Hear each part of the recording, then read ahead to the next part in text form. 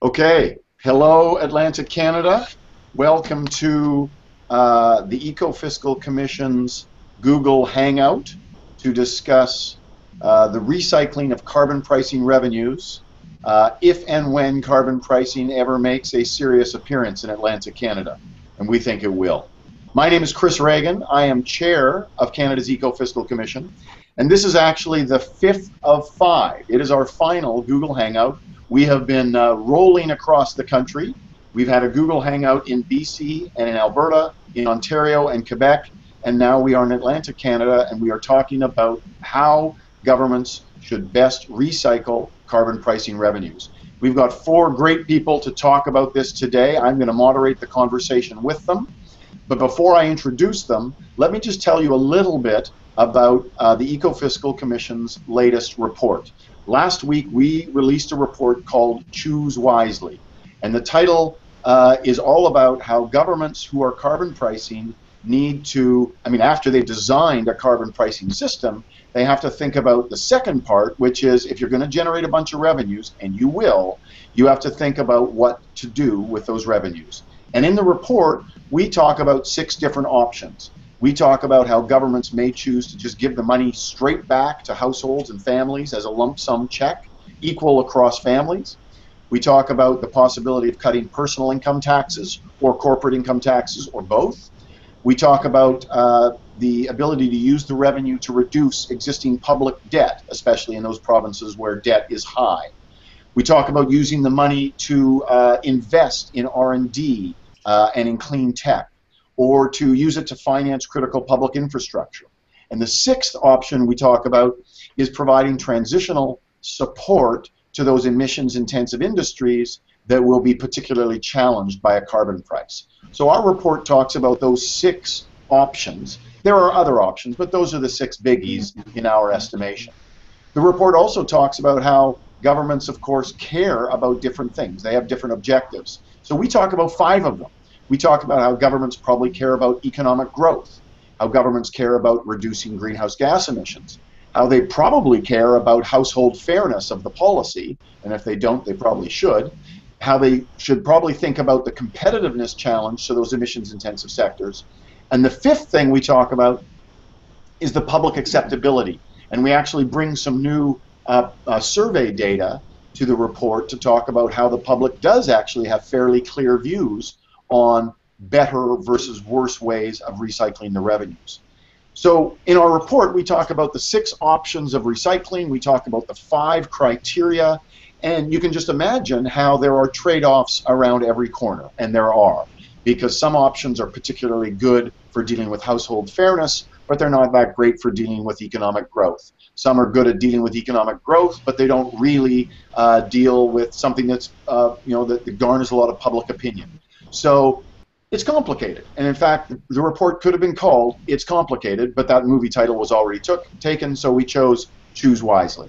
Because we think that governments really need to th think very carefully about what their objectives are, and given their economic and environmental context, how to make these choices the best. So that's what this um, report is about, and we've gathered four people with us today to talk about this. So let me introduce uh, our four guests. Our first is Elizabeth Beale. She's an economist uh, uh, and an eco-fiscal commissioner. She used to be the president and CEO of the Atlantic Province's Economic Council, was from 1996 to 2015. That's a lot of years. Holy smokes. And in 2015, she was appointed as a lifetime member of the Atlantic Canada Economics Association and a fellow of the World Academy of Productivity Science. That's Elizabeth. Thank you for joining us. Laurel Broten is our next guest. President and Chief Executive Officer of the Nova Scotia Business Inc., the business development agency for the province. She formerly is an Ontario cabinet minister and a Bay Street lawyer. And in 2014, that's only less than two years ago, she wrote Charting a Path for Growth, Nova Scotia Tax and Regulatory Review, affectionately known locally as the Broten Report. Uh, so she's got some clear views about how Nova Scotia uh, can be uh, modifying its uh, tax and fiscal structure in ways to both make a better economy and a better environment. Peter Nicholson. is semi-retired. He will never retire, actually. He's semi-retired after a career in the public and private sectors. He is the inaugural CEO of the Council of Canadian, uh, sorry, of the Council of Canadian Academies. He was the Deputy Chief of Staff for Policy in the PMO, 2003 to 2006. He was a special advisor to the Secretary General of the OECD. And an extra little nugget that I didn't know is that long ago he was an assistant professor of computer science at the University of Minnesota, which is, I guess, one reason why he is, is just a sharp, techie guy. Our fourth guest is Finn Poschmann, president and CEO, current president and CEO of the Atlantic Provinces Economic Council, and he spent many years before that as the vice president of policy analysis at the C.D. Howe Institute in Toronto. So those are our four guests. They're all here to uh, to hash out what the best way is that uh, Nova Scotia and other Atlantic provinces should be um, pursuing to recycle their carbon pricing revenues if and when carbon pricing arrives uh, in their part of the world. Um, just before we get into this, um, uh, you can see on my name tag there if you have questions. And some people have already sent questions in by email. But if you have questions that you'd like to send in to us, you can email them to info at ecofiscal.ca. Or if you are Twitter savvy, um, then you can send them in with hashtag revenue recycling and or hashtag Atlantic Canada.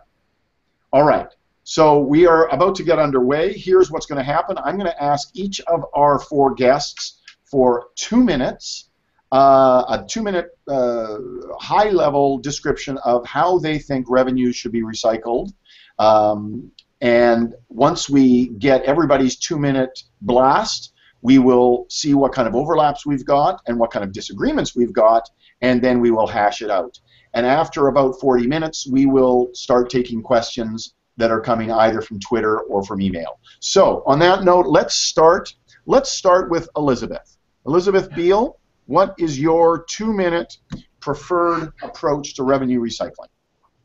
Well, thank you, um, uh, Chris. And as you uh, know well, I'm already quite an evangelist for the work of the Ecofiscal Commission, and this latest report on revenue recycling uh, follows from our previous reports. And I think uh, the benefits of this report are that it gives such flexibility to policymakers in considering their options. So the conditions right across the four Atlantic provinces uh, vary significantly on issues around um, competitiveness, how they manage their uh, provincial finances, and indeed their approaches to managing the environment. And therefore, the report gives all sorts of options that they can pick up and use uh, as they seek to enhance their their uh, climate uh, change strategies and the move to a lower carbon economy. What I find particularly useful about the report is to think of this in in uh, thirds in terms of going forward, and certainly for uh, a province like uh, Nova Scotia, where we are significantly dependent on coal fired electricity generation, we're going to have to do something fairly significant on the transfers back to lower income uh, consumers. And of course, you can think that that might even be further complicated by the fact that we have such a significant portion of our population who are older, living in more remote uh, or smaller uh, communities without uh, any kind of ability to absorb uh, any kind of costs that will come or be associated with an increase in the carbon price.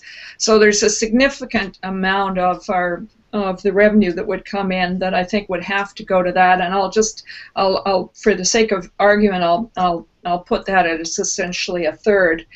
Uh, another third, I think we need to target at the competitiveness issue, and for all Atlantic provinces who have now taken all sorts of steps to move out more fully into the global environment, uh, addressing our competitiveness uh, reducing uh, either corporate or the high end of our income tax uh, regime, but even considering other competitiveness initiatives such as significant investments in infrastructure follows. So we'd, we'd be remiss if we didn't tackle competitiveness. And the final third um, really has to go back to uh, our, our, continued commitments to um, uh, improve uh, uh, efficiency uh, of new technology and the adaptation to new technologies that will improve our energy efficiency. And I wouldn't have, frankly, thought of that as a top priority myself, but the audiences that I've been speaking to lately really keep saying that. What's the point of getting a lot of revenue in on carbon if we're not going to go back in and invest in the steps we need to improve either uh, the innovation side of the energy agenda or the improvements in energy uh, efficiency? And I, from that point of view, I'm very much on the adaptation side of the uh, the agenda. I, I, look at what's happened in, for example, many, many southern countries in terms of the access now to solar technology and how that's really changing household use of energy. Uh, we may not have the perfect technologies here right now, but those may come along. Uh, I'm less um, willing to spend it on big new uh, tech, risky technologies. I really think that's a big role for the federal government, and so I prefer to move more on the adaptation uh, rather than on us investing in, in much riskier technologies. Okay, thank you very much. So roughly a third to transfers to low-income households because of electricity, roughly a third to competitiveness, roughly to dealing with that, roughly a third to improving energy efficiency and new technology. One of the things I'd like to come back to at some point with, with, with some set of you is whether the aging issue is, is, is different and makes you think differently about the challenges in Atlantic Canada, uh, but also about whether corporate income tax cuts can, can deal with the competitiveness challenge well enough. So just flag those as things I'd like to come back to. How about if we go to Finn Poschmann next? Oh, okay. Uh, thank you, Chris.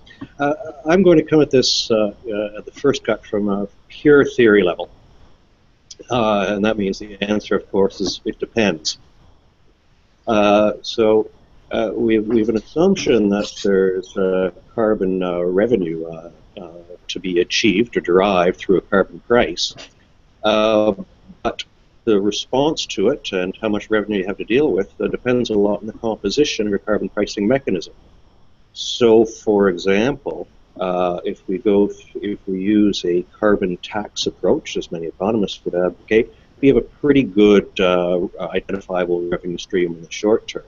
Uh, if the uh, if the mechanism we adopt is a cap and trade mechanism, uh, then something very different happens. Uh, you may design the mechanism to produce some revenue. You may design the mechanism so it produces no revenue whatever uh, for, for regional government. And the other thing that uh, the, the, reason depends at the, the first cut is that the distributional impact and the industrial impacts are going to be quite different uh, as between the two systems. So that's uh, that's that's one uh, one observation.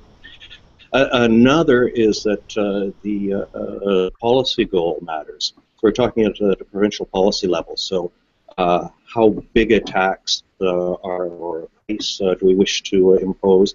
How much abatement do we want to achieve? so, for example, in New Brunswick, owing to changes in industrial composition, primarily the elimination of several important or large facilities, uh, New Brunswick's uh, uh, greenhouse gas emissions or, CO2 emissions are already uh, at, at, levels that they were in, in the 90s on some estimates. Uh, likewise, in Nova Scotia, uh, Nova Scotia had a pretty aggressive 2015 target. as far as we can tell, that's been achieved, and through scheduled decreases in reliance on coal as an electricity source, uh, an increasing reliance on hydroelectric uh, transmission uh, through the next five years, uh, Nova Scotia is currently on track to uh, to meet or exceed the province's emissions goal for 2020. So there's a so the, the, the question is how much uh, how much revenue are we going to talk about and what's the industrial impact of the mechanism that we chose to derive that revenue. And uh, the final, uh, sorry, from a pure theory perspective, uh, the sweet spot for uh, tax relief, if economic efficiency is our goal, uh, is pretty convincingly uh, the corporation income tax. Uh, so that's uh, that's where theory leads you.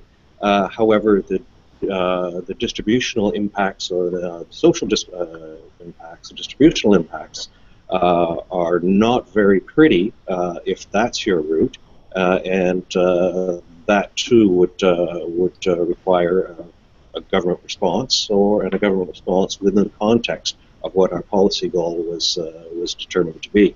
So there's a lot of it depends.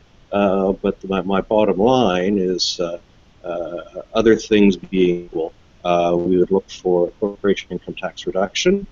Uh, and the, say we had extracted $30 a ton from Nova Scotia's carbon emissions, that would go a long way to bringing the corporation income tax down. that would matter a lot for domestic businesses uh, less so for uh, multinational investments and trade in, in, the province, but it would be growth improving. Uh, it would, of course, uh, uh, require some offsetting compensations to, to improve household distribution household distribution impacts. Thank you, Finn. So you're quite right. It does depend, uh, and that that also could have been the title of the report. It depends. We just felt that wasn't quite as punchy as Um, okay, thank you very much. So we're probably going to come back um, on Finn's point. I mean, Finn did talk about, from an efficiency point of view, offsetting cuts to CIT, the corporate income tax, might make a lot of sense. Um, and we'll come back to one of his points about designing a cap and trade system to produce no revenue. If this might have piqued somebody's interest, it certainly piqued my interest. So I'm going to come back and I'm going to push Finn on that point later on. Um, Laurel Broten, the microphone is yours. Great. Well, thank you. Um, pleased to have a chance to join in the conversation about what uh, we can uh, collectively uh, see the benefits of revenue that would be generated from a carbon tax in the province. Um, certainly, my perspective is one that we would want to advance uh, a more competitive, more prosperous Nova Scotia. Um, there's no doubt that that has to be the focus the starting point must be that it is revenue neutral um, and that it really does redress the impact on low income households. Um, both through a household transfer, I would put um, that as a, as a key element to um, remedy the added costs that they would help, as well as through helping uh, lower income Nova Scotians reduce their costs. So that support in uh, finding avenues, for example, if uh, it is with respect to uh, transit or social assistance and the ability to be able to uh, have lower um, electricity bills as an example. So lots of, of things have been done um, in that regard in other jurisdictions and have been done here and could be looked at. Um, then to drive a, a broader change, um, uh, revenue that could be generated from uh, such a tax does allow the province to examine and look at some of the areas where that need redress. Uh, personal income tax reductions, corporate tax. So with respect to personal income tax reductions, one of the key things is really to examine sort of both ends of the spectrum. Uh, we want to see innovation and competitiveness. We want entrepreneurs to set up in the province.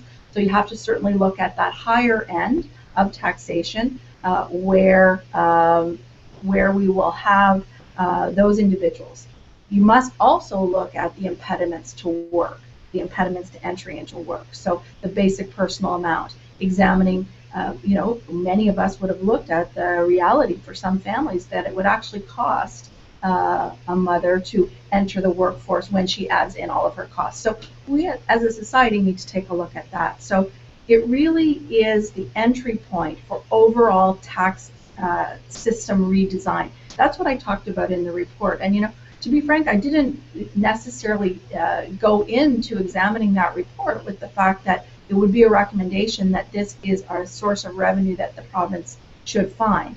Uh, lots of great reasons to look at it, but separate and apart, it really is a mechanism that actually allows us to be having this conversation and to be look at how can we tackle the issue of high corporate tax? How can we tackle the issue of high personal tax? how could we elevate the basic personal allowance uh, for families? So, uh, you know, one of my favorite uh, uh quotes as an example, Larry and he talks, all taxes discourage something. Why not discourage bad things like pollution rather than good things like working? And uh, I think that is um, the exciting part of being able to have this conversation. You could actually redress those issues. So that's sort of in a nutshell uh, where I would go. Great, thank you very much. So very good pitch and explanation for basically a tax shift, right? Shift away from bad taxes and shift toward good taxes, but keep the overall level of taxes roughly constant. Okay, uh, I'm sure that will uh, will generate some disagreement somewhere along the way. Um, Peter Nicholson was having some technological issues, uh, but I think he is back with us. So, Peter, do you uh, are you alive and well, and you can give us your two-minute spiel? Yes.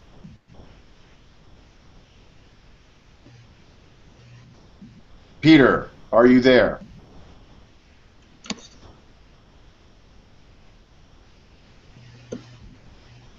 Peter is not there. Okay, while Peter is still solving his technological challenges, um, let me uh, let me come back to some of these points. Um,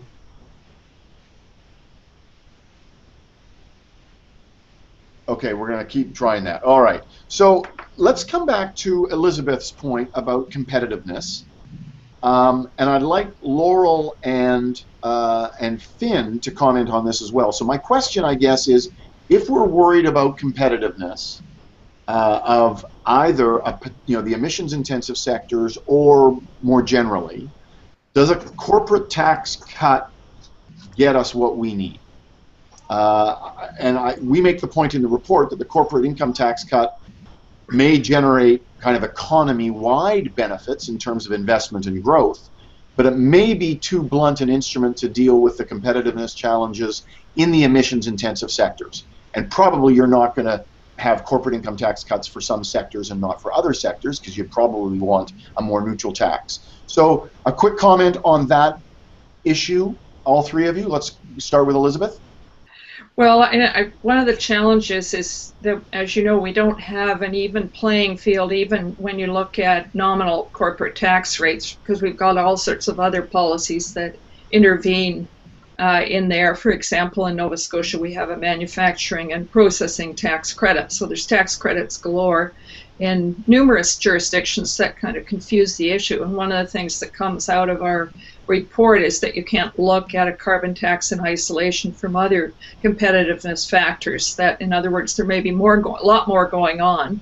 And just just by evidence, as Finn was pointing out, the enormous loss of output in New Brunswick's forest industries uh, that have happened over the last 10 or 15 years, which which uh, go well beyond just the challenges around energy pricing and those inputs into the forest sector. So you have to you have to look at these things in a very broad context. Do I do I think that um, uh, improvements in the carbon uh, in the corporate income tax would necessarily put Nova Scotia's industry onto a, a better uh, playing field in terms of global competition? Not necessarily, but I do think it sends a significant signal and uh, plus, we also have inconsistencies just between our small business uh, rate and uh, the regular corporate income tax that really need to be addressed. So I think part of this is about sending a signal.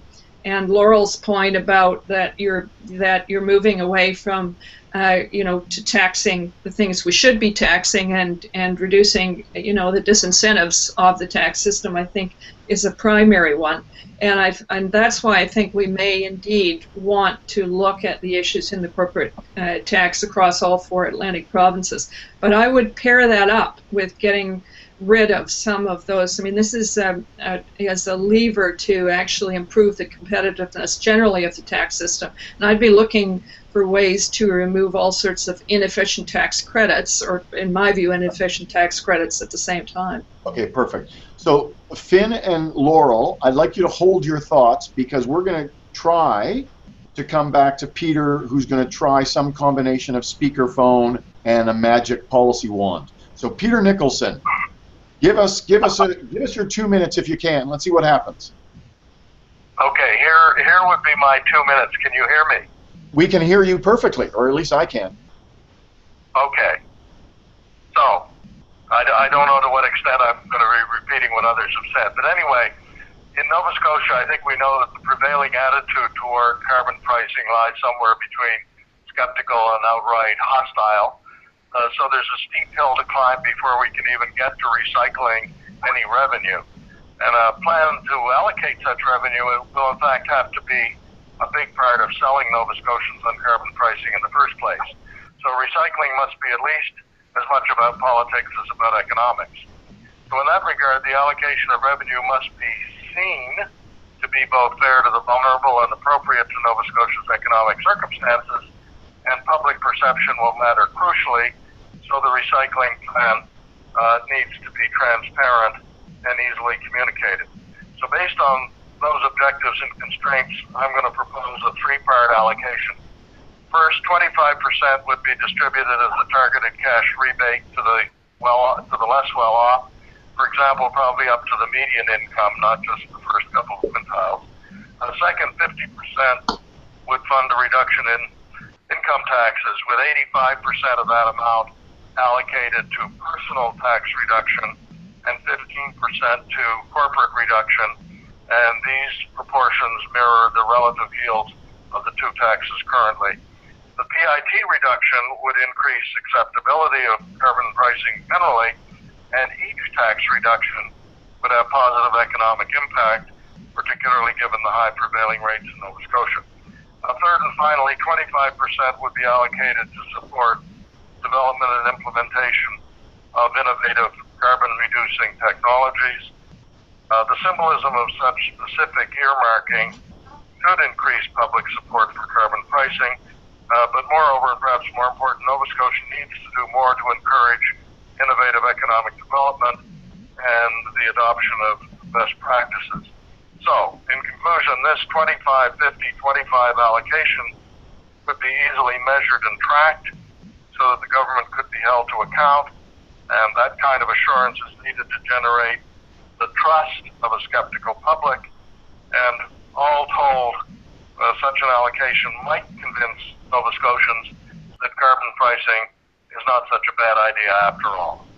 Excellent. We also might require Peter uh, Nicholson as the primary salesman and spokesperson for pushing the carbon price. If you can explain it that clearly, um, then then I think that's that's going to work. Okay, so you all heard it. Um, 25% cash rebates to low-income people up to the median. 50% uh, income tax cuts, largely um, skewed toward personal income tax, but some on corporate tax. So Finn and Laurel, uh, I'm going to ask you next to come back on your views on the corporate income tax because that's going to be relevant to Peter's uh, recommendation. But then I'm going to get Peter to come back at a later time, uh, which means in a few minutes, and talk about how easy it is for governments to devote that last 25% to R&D or clean tech and low carbon activities. I want to explore how easy or difficult it is for governments to do that. So while Peter's thinking about that, back to Finn first and then Laurel for some quick views on the competitiveness and whether it can be adequately dealt with by CIT cuts or if you want to say anything else about corporate income tax cuts. Finn. Okay, thank you, Chris, and uh, uh, a bunch of great comments there. Uh, I, I, hesitate to, to, use a phrase. Uh, it's complicated uh, because uh, uh, some of the some of the issues are very complicated. But it's it's much better off to uh, to, to, treat them in a simple way and uh, reflect on what policy can address and what it can't. So first, competitiveness. when industry talks about competitiveness, we're usually referring to trade exposed. so the, the, the magic phrase is a carbon intensive or energy intensive uh, trade exposed sectors. Uh, and uh, the, the worry is that uh, activity and uh, carbon emissions associated with that activity leak from our jurisdiction if we impose a carbon tax to, to a jurisdiction that does not impose a carbon tax or where emissions are less, less pricey if there is one. So that's the competitiveness worry. Uh, and uh, it, it matters for uh, trade-oriented economies like ours. Uh, will a uh, would corporate income tax reduction address that? Well, no, it won't. Uh, it wouldn't do in, in, the trade context unless uh, the, the, CIT reductions so dramatically lower the cost of capital investment that uh, you could uh, underprice uh, imports that had uh, a higher emissions or energy intensity and lower carbon taxes attached to them. So yeah, no, the, the lower a lower CIT would be unlikely to go very far in addressing the trade competitiveness question. Uh, the other mechanisms that have been suggested for doing that uh, rely on what we call border tax adjustments. So in other words, uh, we, we charge uh, explicitly uh, a tax on, on energy intensive imports. Uh, which is technically possible, rather horrific to contemplate uh, in practice uh, because of uh, all the steps involved, both in assessing the carbon intensity of an import and a re-import, as well as the administrative tracking thereof. So pretty problematic. We, we don't have a very good way of addressing it. Okay, thank you, Finn. Laurel, uh, your thoughts on corporate income tax cuts and the competitiveness issue? Uh, and I guess, you know, on Peter's split between PIT cuts and CIT cuts, if you want to comment on that. I mean, I think that as I suggested and I had uh, written in the tax report, it has to be a comprehensive approach. The uh, pollution tax, carbon tax allows us to think of that, and the combination has to be personal income tax reductions and corporate tax reductions. But certainly, I can tell you in the role that I have now, as we seek to uh, see investment from other jurisdictions or companies that have their operations elsewhere and have them coming into Nova Scotia, the fact that we have high personal income tax, high corporate tax, and high uh, sales tax, uh, HST, as our numbers, are disincentives, and we have to manage that and respond to that uh, in that way. But I want to put a different angle on the competitiveness as well, though, and talk about the fact that our companies are all part of uh, global export. We're a small jurisdiction where all of our products, all of our, our seafood, our ICT, everything that we do uh, make, sell, service, uh, leaves, uh, leaves our, our borders and goes on to elsewhere. And, and that aspect of making sure that uh, we are viewed as uh, good, responsible players in a global value chain and that our companies are managing their GHG um, and, and counting those GHG elements, I think has, has received a particular import this year. Certainly, we saw a global conversation when it came to we need to collectively tackle climate change. Uh, we also have uh, had comment or criticism of, that suppliers in Canada were not doing enough to manage uh, change, climate change risks, and that major purchasers should encourage Canadian suppliers to set emissions targets. So, if we want to be part of selling our products and services to the world, we have to be part of the agenda for sustainability and embrace a triple bottom line approach. Um, so that also necessitates us to be engaged and part of this conversation. There's no one particular element that's going to resolve all issues. It has to be looked at comprehensively, but a carbon tax conversation allows us uh, to look at it comprehensively. And in fact, to also start to engage in the conversation of the demographic reality in this province, that the income tax base is going to go down. That is, uh, that is a future reality, and uh, this is one avenue to start to begin to redress that issue. Great, thank you. Okay, so let me let me come to the issue of, uh, and, and Peter raised it beautifully, that you know, if, if the current thinking about a carbon price is not overwhelmingly positive, it may well be the case that the, the way government thinks about recycling the revenue becomes part of the overall uh, sales package, if you like. Um, and that means, you know, the, the, the, the, uh, the public support that is associated with any type matters. So here's, there's an interesting tension. Um, in, the, um, in the survey, the new public opinion survey evidence that we brought in to the report uh, that was produced by Bruce Anderson and Abacus Data, is that the two most popular uh, approaches for recycling, the ones that garner the most support for, for carbon pricing in general, are when it's recycled into financing infrastructure and recycled into financing uh, low carbon technologies. Okay, those are the two that stand out. Um, and so that and that sat, that satisfies, I guess, the, the criterion that Peter was looking for. But at the same time, one of the points that we make in the report is that investing in risky low carbon technologies is something that's difficult for governments to do. And it's sometimes difficult to do it in a way that doesn't become politicized. So, can we, how do we have this? How, how do we talk about this? Is there a way that we can make these investments uh, effectively? Can you build a machine that can make these investments effectively that doesn't end up being a poor expenditure of taxpayers' dollars? And I'll go to Peter and then Elizabeth on that.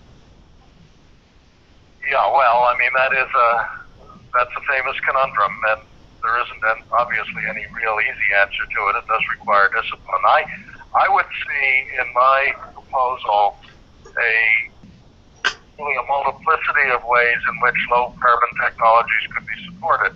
So some of that money, and just to put a dollar figure on it, if we take the, the figures from your report from Nova Scotia, there'd be about $500 million to recycle uh, at a $30 price. I think it's 493, but let's say 5, 500.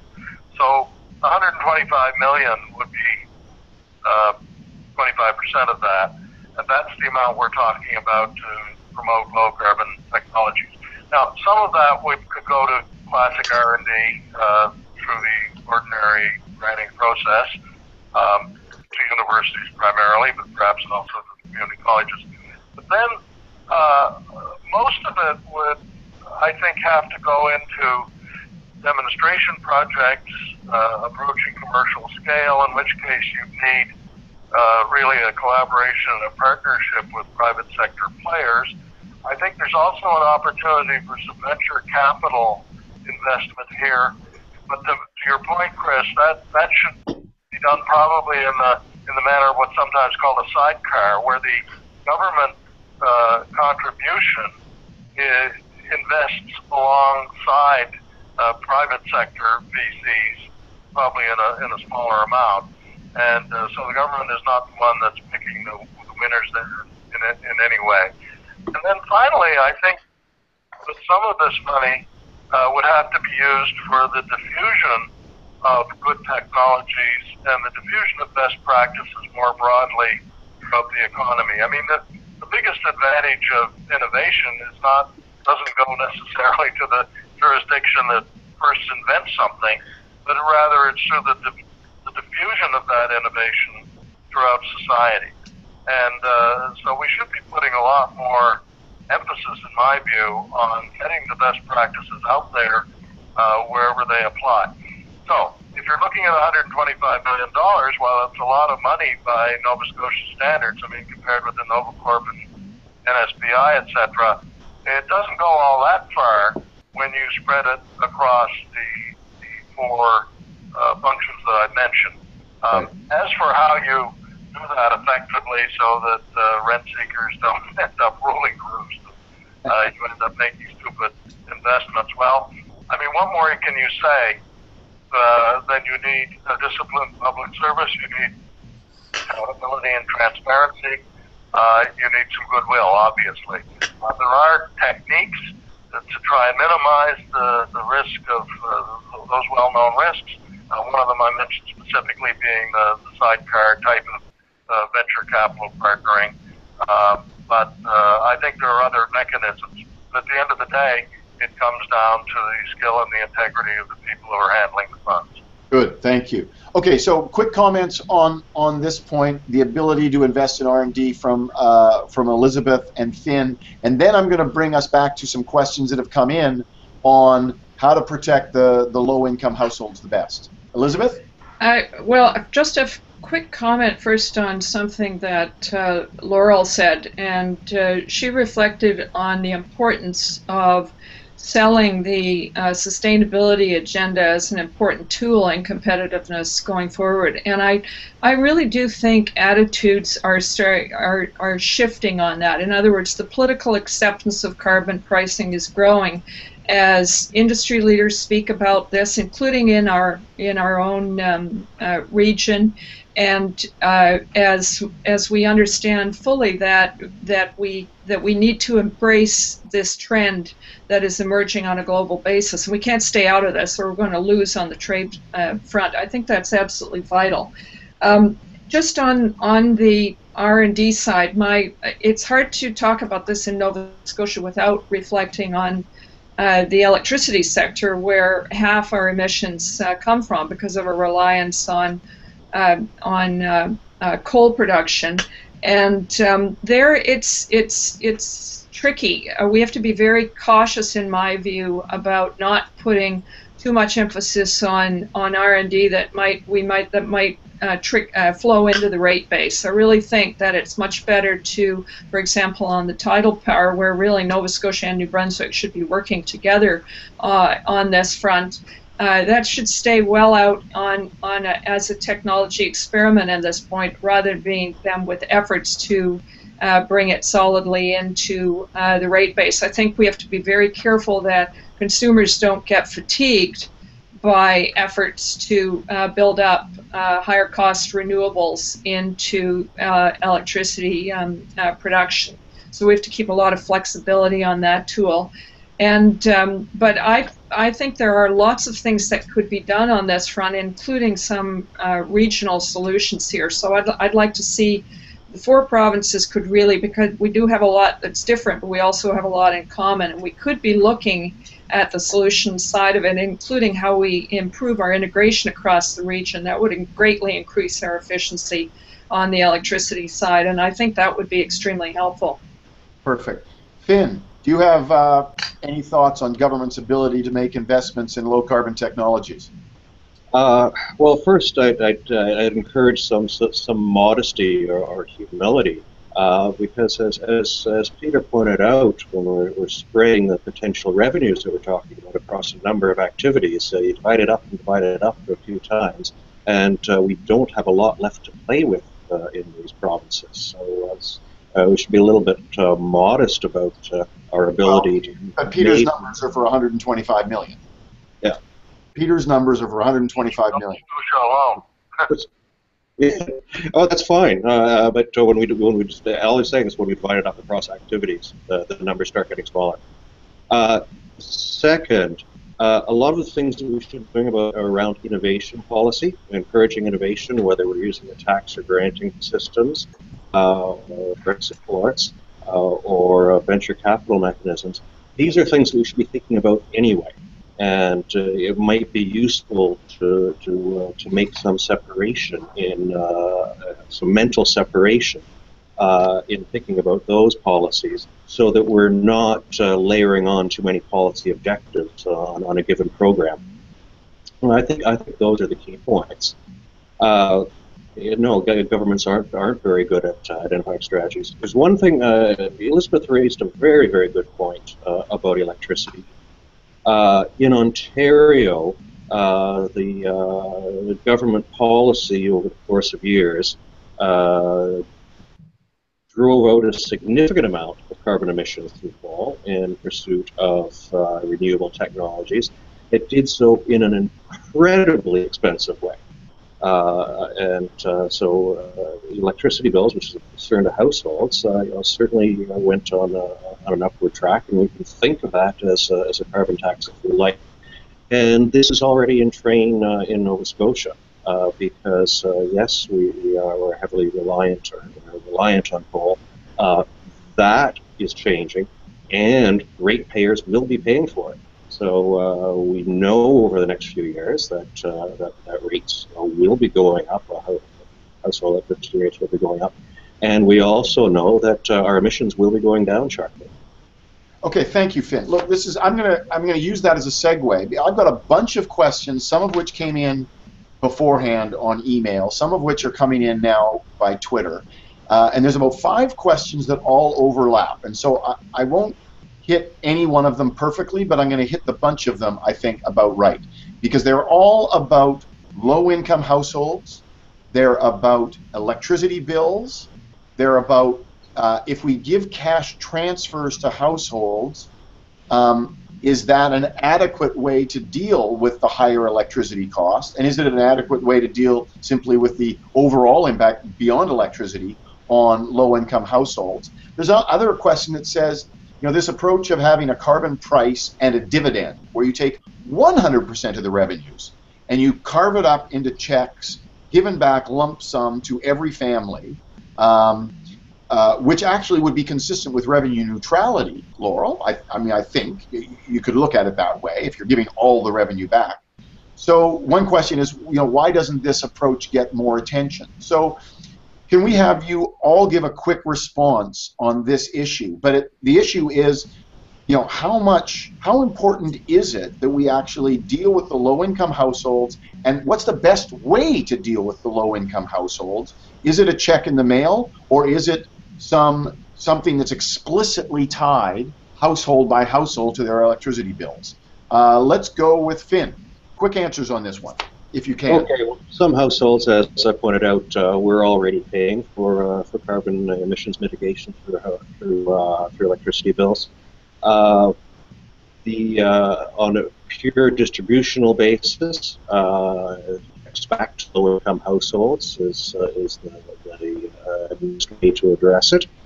and you know, I think both theory and practice is pretty strong on this point. but I'll just say one giant caution uh, the, size of a dividend or the existence of a dividend uh, is something that is unsafe to make extremely large assumptions about.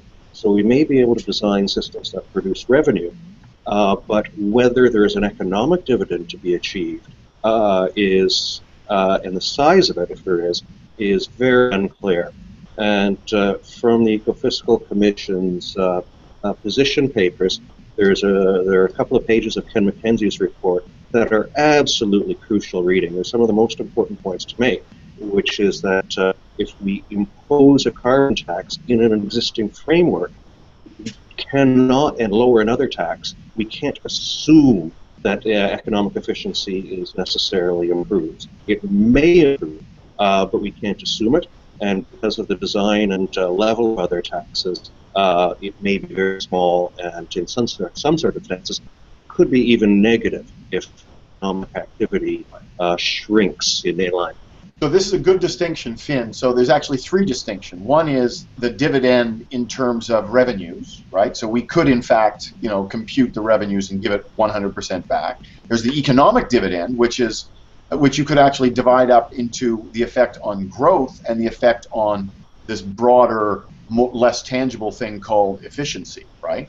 Uh, and you're quite right that Ken McKenzie's comments on that say that you know the uh, the interaction of the taxes actually complicates things. Okay, but on the household transfers point, uh, can we come back? Let's go to Laurel and then Peter and uh, Elizabeth.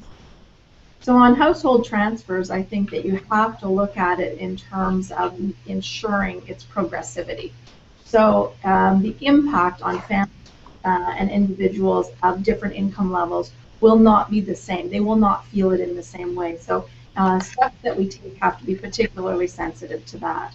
Um, and I think that that's why, in large measure, um, you know, there are um, are a number of models that you can follow. Certainly, BC has a model. Uh, there's a number of jurisdictions you can look at in terms of helping those at the lowest income. But I want to go back to the fact that uh, a carbon tax will generate significant resource, but not uh, not that much significant resource. And so I think the reason that Ecofiscal demonstrated in your assessment that uh, personal and corporate income tax cuts were of highest priority in this jurisdiction in Nova Scotia is reflective of where the corporate and, and personal tax rates are. And so I would really say I think that in order the resource has to be driven to the areas of highest priorities so that families feel it. It has to be very purposeful. It has to be very clear. It has to be very progressive, and it has to be extremely transparent. You cannot have.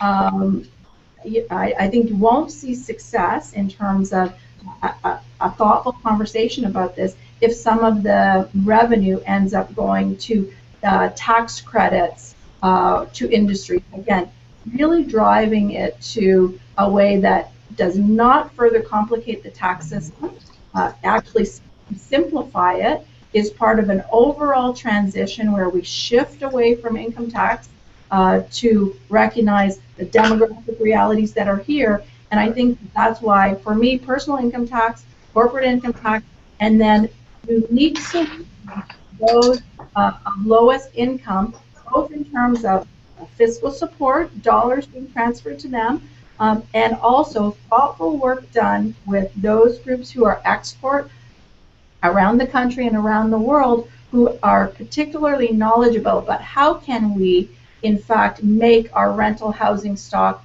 more efficient so that someone doesn't have a high electricity bill? How do we what programs work best in terms of changing those windows or making sure that uh, those uh, costs are, are brought down for families so I would say that that's really it would be um, again easier to communicate if we have only those few buckets and it will be more felt by the citizens in a positive way of seeing actually seeing uh, a benefit to them. And you know, I think we can take a page out of the book of British Columbia. OECD complimented in the approach that they took and said, know, the implementation of the carbon tax was as you can have to a textbook case. I think we can learn a lot if we look to the other uh, Canadian coast.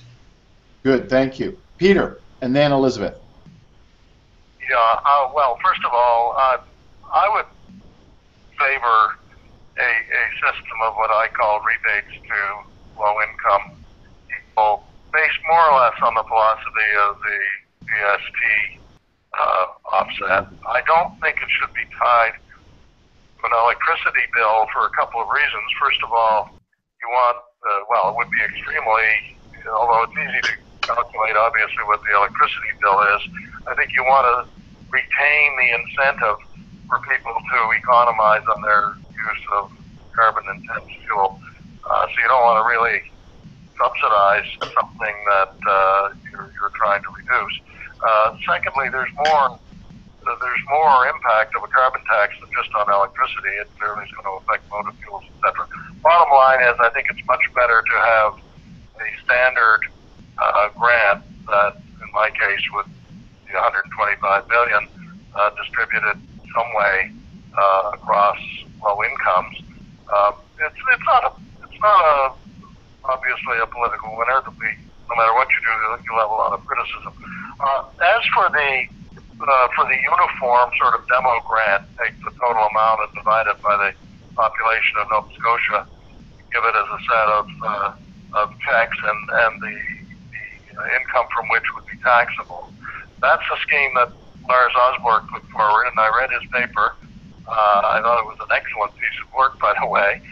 But at the end of the day, I think it is important to see some reduction in the both the income tax and the corporate tax burden. I think that uh, that satisfies a lot of other objectives, uh, as well as a certain portion available to encourage uh, more more modern carbon uh, uh, conserving technologies.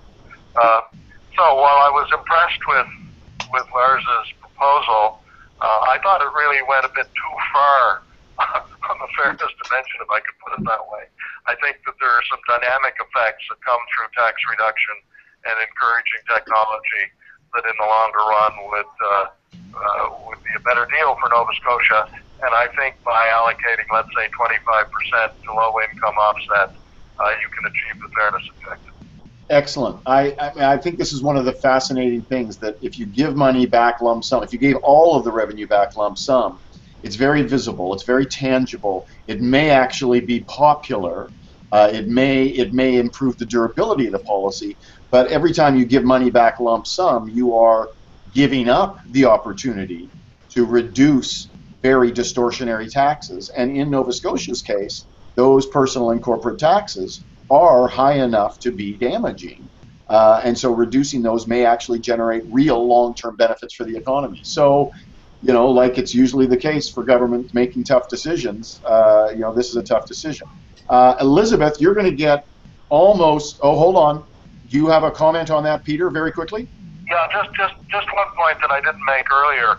Again, if you use the uh, the 500 million dollar for the total uh, revenue generated by a $30 a ton tax, uh, that would produce, in my uh, proposal for reducing corporate and, and, and personal income taxes, about an 8.5% reduction. So it is quite meaningful. Uh, I just think it's important to be aware that this is not a trivial reduction. That's all. Very good. Thank you. Okay, Elizabeth, on this point.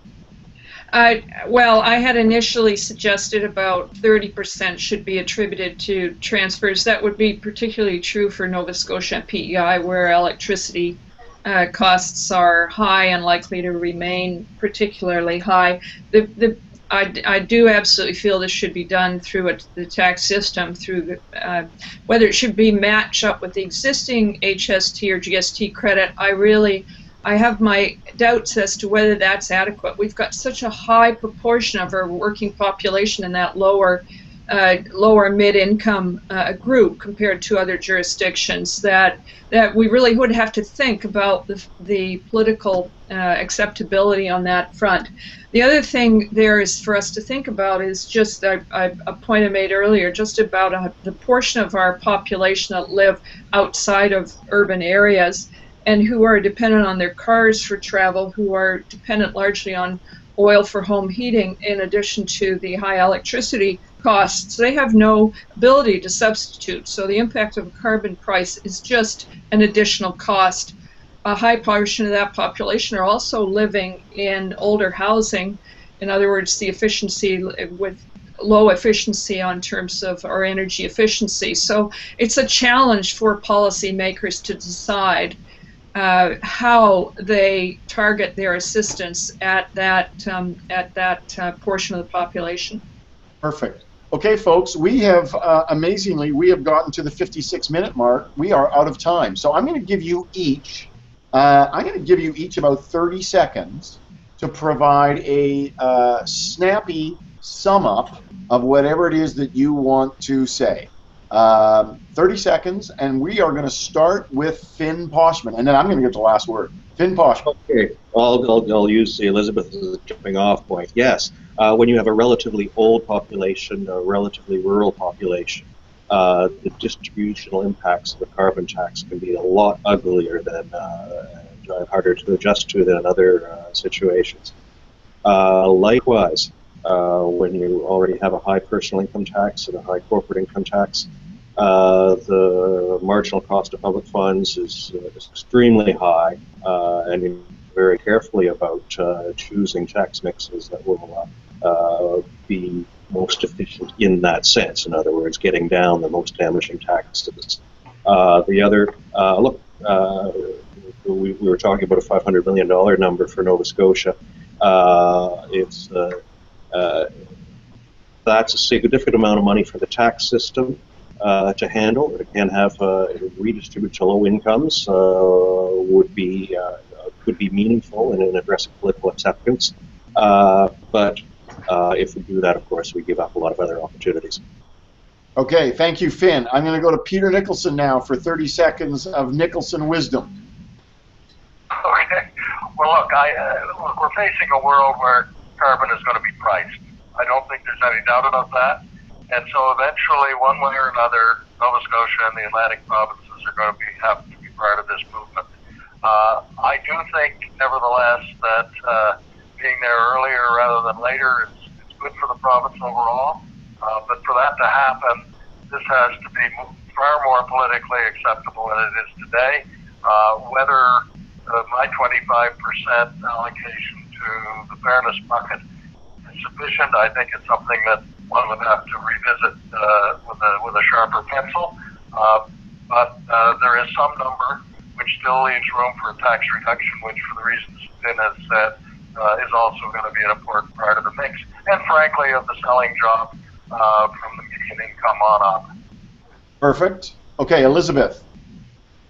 Well, I, I, I, I would like to see all the provinces take a move in the fav- in the direction of uh, carbon pricing. If if not in this year's budget, uh, certainly in next year. I think it would be a shame for Atlantic Canada to be late to this party, which we all agree is uh, moving along. And I think it's an opportunity. Well, we've discussed the revenue opportunities for governments to do things differently and to strengthen their progressive economic agenda. And I think that I think the debate is moving along in, in our favor, and I'd, I'd like to push them to get over that hump.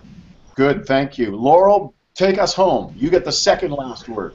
So use the carbon tax uh, to implement it, drive comprehensive tax reform through it, uh, always with a view to our global competitiveness, recognize we sell our goods and services around the world, um, and recognizing that we need to see relief in this province from high personal income tax, uh, lifted off those families, in particular those who need it the most. Uh, be transparent about it. I encourage entrepreneurs to set up in this jurisdiction uh, as a result of making sure that our taxation system is more transparent, more sustainable, um, and more um, recognized and in keeping with uh, ensuring that those dollars uh, that would be taken from a carbon tax remain in the province uh, and help Nova Scotians uh, have a more prosperous future. Perfect. Thank you all very much. I want to thank everybody out there in uh, in Google Land uh, for watching this hangout.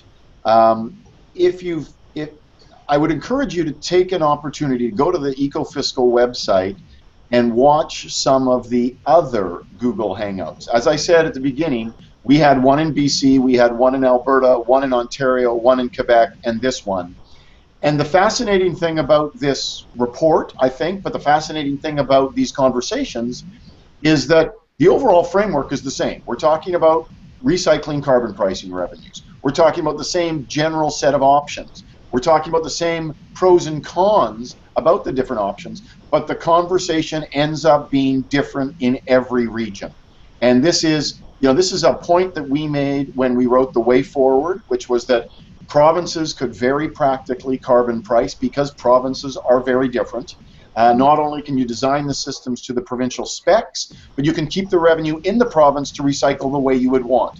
Uh, and these conversations are, are reveal that, that the kinds of discussions you have, the kinds of tensions you have about the best way to recycle the revenues are different in the provinces.